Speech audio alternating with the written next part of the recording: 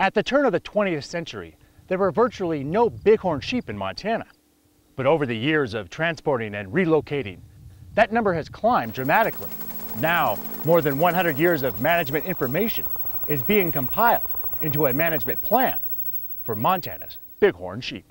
It's going to help us manage bighorn sheep better and to have a document like that that you can actually see what an agency is going to be doing, I think that's a public benefit.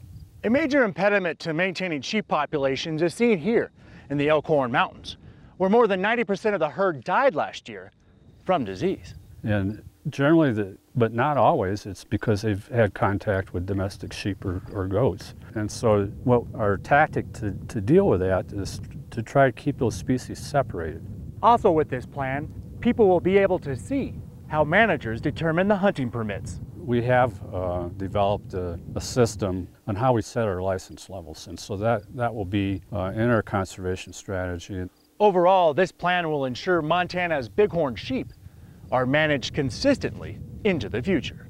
I, I think by having this conservation strategy, things like population management, how you set your license levels, and those kind of things get, will get passed on, and it'll be somewhat consistent, and the public will be able to understand what we're doing. Winston Greeley, out among Montana's fish, wildlife, and parks.